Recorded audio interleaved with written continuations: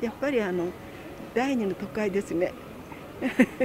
中心部より。デパートっていうか中心部に行くとねあのあまり人との交流っていうかなくてパーッと買ってしまうんですけどね。ご飯食べて買い物してって感じですね。僕の住んでる恵比寿もなんか新札幌の再開発の影響で地価上がってるらしいんであやっぱり地価は上がってるんだなっていうのは実感はしてます。家族と一緒にあのちょっと美味しいもの食べたり洋服買ったりあとあの友人と一緒にゲームセンター行ったりしてましたね。一つの建物で結構いろいろあるので。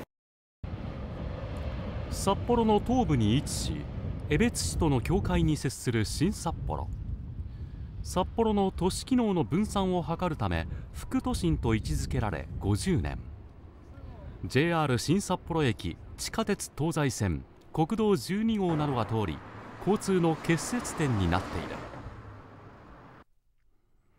今回再開発が進むのは老朽化で解体された市営下のっぽろ G 団地跡の1.7ヘクタールと I 団地跡の3.9ヘクタール。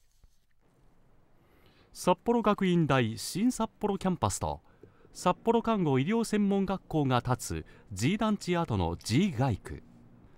一体的なデザインで統一感を生み出している地区だ。じゃあ早速札幌学院大学。江別にあるんですよね。もともと本校が。でこちらが新しくできた学校だということで。いや綺麗なキャンパス。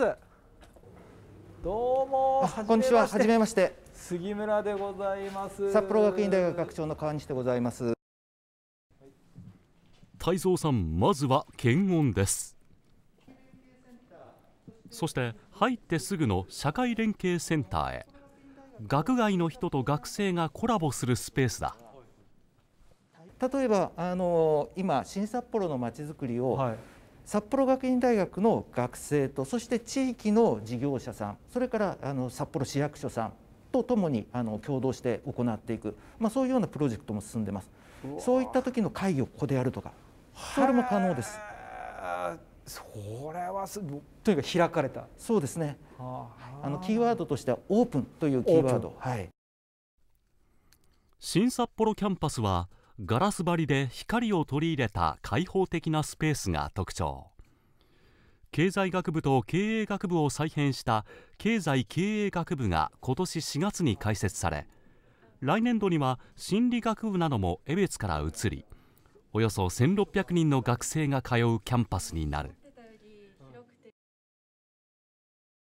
お隣の札幌看護医療専門学校と合わせて多くの若者が街を活気づけることが期待される。先生あのもともと江別でしたけども、はい、どうしてこのまた新札幌にということなんでしょうか？あの一つはやはりあの大学という業界これがあの立地産業的になってきてるんですね。やっぱりあの便利な立地にある大学に割合と人が集まりやすい、まあ、そういうような側面があります。続いて新札幌キャンパスのもう一つの売りである図書館へ。あのこちらの図書館には、はい、ここで教育を展開する経済経営学部に関連するあの書籍7万5千冊と来年心理学部がこちらに移った時には3万冊の心理学関係の本があの書棚に並ぶということになります。10万冊の蔵書以外にも資格取得向けの DVD を見たり学生がディスカッションできるスペースなども充実している。この図書館もやはりあのオープンというコンセプトのもとに一般の方々も自由に使えるようになってます。えー、普通だったらちょっとそれはねなんかまあ許可を取るかその学学生さんじゃないと使えないってありますけども、はい、まあ、あの登録をしていただければ、はい、あのあそこあのセキュリティのガードがあるのでカードを発行しないといけないので、はい、登録していただいた上でここを自由に使える。新型コロナのため現在学外の人は利用できないがここも収束すれば開放する予定だ。この日は入学したばかりの新入生が。どんなことを勉強しようと、えーと、まず北海道の経済に学びたいと思ったので、はい、北海道の経済をいろいろ調べて、はい、私は北海道の観光についてあのこれから調べていこうと思ってます。その際にこの図書館を使用すると思うので、うん、はい。あのたくさん使っていこうと思いますですか。なんかもうできすぎた感じのコメントで。そこまでそこまで立派なコメントと逆に使いづらいなっていうぐらい。いやでも本当素晴らしいですね。どうでしょう？お他の男性ね拍手が起きる。なかなかインタビューでね拍手が起きることないんですよ。ありがとうございます。この新札幌というこの町に新しく校舎ができたことについてどう思いますか？東区の方に住んでいるのですごい交通の便も良くて通いやすいなって思ってます。なんかこんな将来の夢っていうか就職先みたいなのありますか？将来は IT 系の仕事に就きたいって思ってます。そうですか。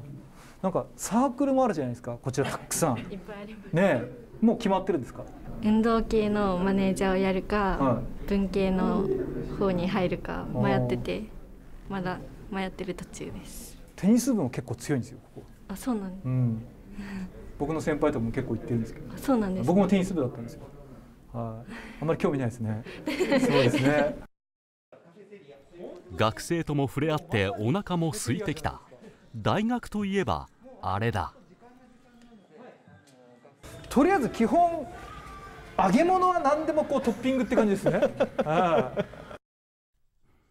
200席以上ある広々としたカフェ。メニューはほとんどがワンコイン以下。カレーは200円台だここもコロナ収束後は一般の人に開放する。ここの学生さんの一番の人気メニュー何ですか？人気メニューは竜田丼と牛トロ丼です。こっち竜田丼先生もおっしゃってますよね、はい、ちょこれにしますか？じゃあこれ、はい、学生さんが大好きだっていう、中サイズでよろしいですか？そうですね、はい、中でいいですね、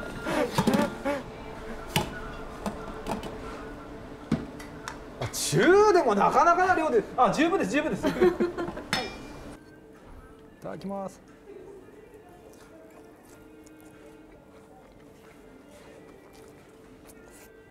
嫌いな人はいない。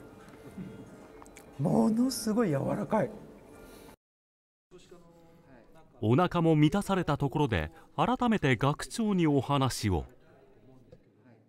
空港からと札幌駅のこう中間で,、で北広のボールパークもできると、非常にこう立地としてはもう本当これから大いにこう発展しそうなそういったエリアですね。そうですね。やっぱりあの北海道の中であの非常に人の行き来がするのが、はい、あの札幌からあの新千歳のこの間、うん、でそこでのまちづくりというのが多分北海道これからのあの発展をあの支える一つのあの、まあ、中心になるんじゃないかなと思います。そこにキャンパスを構えるということはこの北海道内の大学協会で生き残っていくために重要な戦略だというふうに考えています。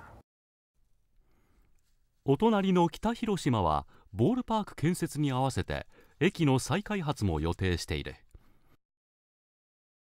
地価の上昇率で全国トップ10に5地点が入ったそしてこの厚別も地価が上昇した。ここのキャンパスに関しては、えー、土地代がだいたい17億円ぐらい。そしてこの上物だけで、えー、40億円。だからまあ大体60億円弱ですね。それにあのいろいろな機械設備とかを入れると多分60億円を超してしまう。はあ60億。それでね北海道に優秀な人材を集めてそして各地にこう輩出していって経済が活性化するといいですね。そうですね。あのその60億円という校舎の費用っていうのは我々にとってみればある意味投資、その投資もリターンはこれからの北海道になっていく若い人たちを育てていくそういうリターンがあの戻ってくるということを非常に期待してます。投資家としてどうですか？もういやこれはだってこの投資はもう絶対必要な投資で、やっぱ間違いなく還元されますからね、この人への投資っていうのは、いやこれは本当期待できます。ぜひあの札幌市周辺ではなくてあの北北海道とか道東とか道南とかそういった広い地域でこう学生さん活躍の場があるっていうことをですねお伝えいただきたいなと。私もあの政治超入門コースだったら1時間ぐらい喋れますので。呼んでいただければいつでも来ますので、はい、ええ、ここで新札幌の歴史を。旧陸軍の弾薬庫があった新札幌。1966年に市が跡地を取得。団地の造成などで人口は増え続けた。73年に国鉄新札幌駅。82年には地下鉄東西線新札幌駅が開業。駅周辺には商業施設のサンピアザや文教施設も揃い暮らしやすい街として市民に愛されている。しかし副都心と名付けられた町も50年が経過。今回の再開発につながった。ここで泰造さんもう一つの再開発の目玉へ、えー、それではですね、えー、続いてはここ新札幌もう一つのまあ超目玉再開発エリアいわゆる愛外区をご紹介したいと思うんですけどもここからご紹介いただけるのはどうぞよろしくお願いします。よろしくお願いします。杉村でございます。大和ハウス新田と申します。新田様はい。いやどうぞお忙しいところありがとうございます。よろしくお願いします。愛外区は商業施設ホテル4棟の病院30階建てのタワーマンションなどで構成する。空中歩廊と呼ばれる廊下は JR 新札幌駅に直結。各施設をアクティブリンクと呼ぶ通路で結ぶ。ちょうど我々のこの視線の先が、はい、あのこれですか？ちょうどこの上に。ねはい。何でしたっけ？アクティブリンク。アクティブリンクがこの辺に来る感じですか、はい、そうです。おっしゃる通りなるほど、はい、でこちらがクリニックビルですね、はい、でこのタワークレーンがある方がタワーマンション。ああじゃあもう病院の目の前なんですね、はい、じゃあここにお住まいの方は、はい、もう病院までほぼそうです。何の心配もなく、はいはい、行けると。おっしゃる通りですしかも商業施設からも一歩も外に出ることなく。そうですお買い物もできますし。そういうことですよね、はい、いやーなんか街が作られてる感じがしますね。タワーマンションには新札幌初のオークションとなる部屋も。新札幌駅周辺地区はちょっと少子高齢化、はい。えー、等がありまして、まあ、ただ広大な暫定利用地が非常にここも含めて多くあるものですから、まあ、そういった今後に今後の活性化につながるすごく可能性を秘めてるエリアではあるんですね。なるほどね。続いては街の移り変わりを見てきた人たちに焦点を当てる。子供が一人ポンと表に出るとねわーっとね78人すぐ集まるような感じでね